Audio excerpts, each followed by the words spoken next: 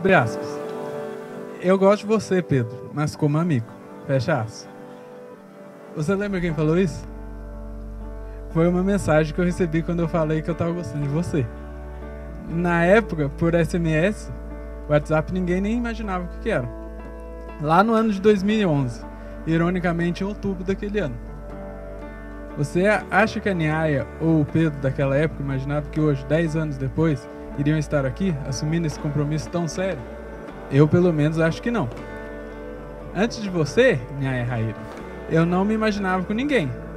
Achava que nunca ia achar a tampa da minha panela. Até que um dia uma pessoa, Filipão, me falou: Pedrão, tá escrito, não é bom que o homem fique só. E eu nunca esqueci disso. Ficamos então quase um ano nesse vai e não vai. Até que foi. Antes de eu enxergar o Pedro como meu possível amor, vários amigos e familiares já me diziam: O Pedro é uma belezinha, por que você não namora ele? Ah, você deveria namorar o Pedro. Outros até chegaram a dizer: rola algo entre vocês dois, você gosta dele. Mas eu era irredutível. Sempre dizia que ele era muito legal e uma pessoa maravilhosa, mas que eu gostava dele apenas como amigo. Acho que as pessoas já enxergavam o que o bobo não queria ver.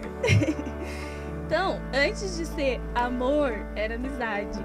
Era sorriso de canto de boca, era olhar apaixonado dele, indecisão minha. Até que um belo dia, né, o senhor Pedro decidiu ir viajar para longe. Aí pronto. Eu senti falta dele, chorei de saudade e até sonhei com ele, né, Foi quando eu percebi que não tinha mais jeito. Não tinha mais como eu escapar. Eu tava mesmo apaixonada. E aquela menina que negava seus sentimentos não imaginava que um pouquinho mais pra frente diria ele que estava gostando dele. Que até roubaria o primeiro beijo. Eu achei que ele fosse contar e ele não contou. e que até diria eu te amo primeiro. Depois disso, nunca mais nos separamos. Hoje não enxergo a minha vida sem ele.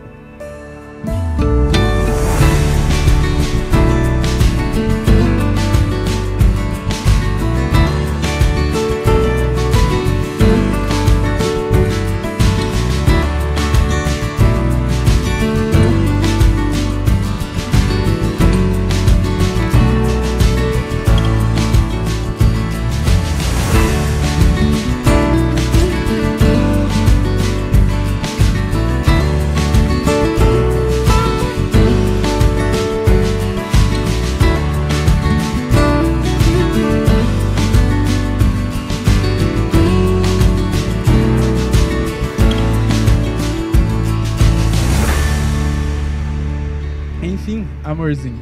Hoje começamos uma nova fase da nossa vida. Estamos começando nossa família. Eu sei que não vai ser fácil, muita gente já falou isso pra gente. Mas eu tenho certeza de que não tem pessoa no mundo melhor para começar essa nova etapa comigo do que você. Eu te amo muito, como nunca amei ninguém na vida. E estou muito feliz de ter você do meu lado para compartilhar todos os momentos, os bons e os ruins, para sempre.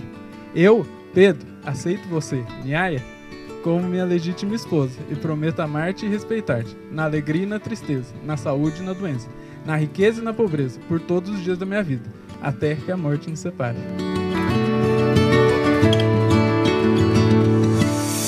E hoje, aqui diante da nossa família e amigos, eu gostaria de te dizer o porquê que eu te amo tanto e porque eu decidi passar o resto da minha vida com você. Porque você é o melhor filho e será o melhor marido. Porque você sabe pedir desculpas e também sabe perdoar. Porque você é meu melhor amigo. Porque você sabe os motivos que me deixam de mau humor. Sono, fome, vontade de ir embora. Porque você é esforçado, inteligente e eu sempre aprendo algo novo com você. Porque você me ensina coisas sobre futebol americano porque você me ajuda a ter mais confiança em mim e você acredita no meu potencial. Porque você é alto e assusta quando tem gente mais alta que você no ambiente, né, Mar? Por, porque você arranca os meus melhores sorrisos e gargalhadas. E por fim, eu, Niaya, aceito você, Pedro, como meu legítimo esposo prometo amar-te e respeitar-te na alegria saúde e na doença, na riqueza e na pobreza, por todos os dias da minha vida, até que a morte nos separe. Eu sou para você e você para mim, e nós juntos seremos para Deus. Te amo.